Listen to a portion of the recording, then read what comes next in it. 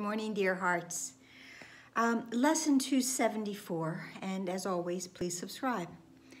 Today's lesson says, Today belongs to love, and that's capitalized.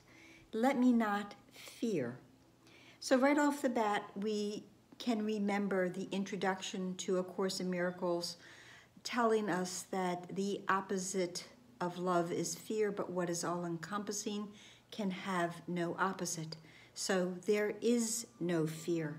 So why would I go into the imaginary, the illusion?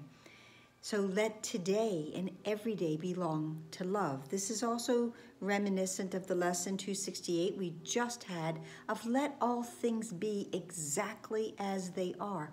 And when I allow all things to be exactly as they are, as they were created in truth with a big T, I am allowing everything to be love because love is the creative force of this universe. So the lesson starts with the prayer that says, Father, today I would let all things be as you created them. Hint, hint, 268. And give your son the honor due his sinlessness, the love of brother to his brother and his friend. If I am not loving, have loving thoughts towards my brother, then I am in fear. That would be the, the opposite of what love is. Let me not fear. Let me not hold a grudge or a grievance, an anger, a judgment against my brother because the only one it harms ultimately is me. So I would honor and the sinlessness that he is due, the honor that he is due because he is sinless. And through this I am redeemed, and through this as well the truth will enter where illusions were. Light will replace all darkness, and your son will know he is as you created him. Again, that thread, that lesson that we all must come to know that we are as God created us. I am God's holy child.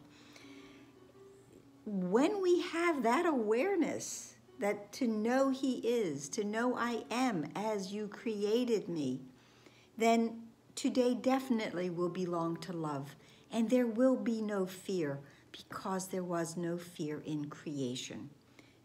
Creation happened from the extension of the mind of God outward and let the light of his mind shine on all things.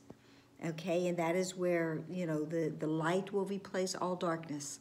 The light of creation will replace all darkness from my illusory mind.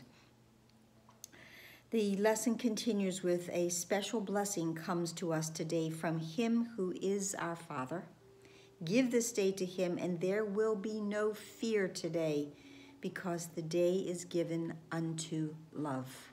Love and fear never have, never will, never can coexist. There is always one or the other. Which will I choose today? Today belongs to love. Today I choose love and allow the fear the sharp edged toys, because that's what fear is, to be put down, put away, and not for me to reach for them. There is no reason to go into fear when there is the awareness of love. And just to go back to what is the Christ, in the last paragraph, it reads, And how long will this holy face be seen, this face of love, this face of Christ, when it is but the symbol that the time for learning now is over and the goal of atonement has been reached at last? When I go into and place every day into a day of love, atonement has been reached at last, at one mint, at last. So therefore, let us seek to find Christ's face and look on nothing else. It's a day of love. As we behold his glory, we will know we have no need of learning or perception or of time or anything except the holy self, the Christ, whom God created as his Son, and that I am as you created me. So that's it for today. I hope this helped. I hope you're having a day of love today and every day.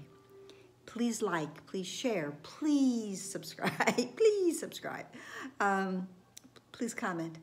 Please, please be here tomorrow for a uh, another uplifting lesson. Namaste.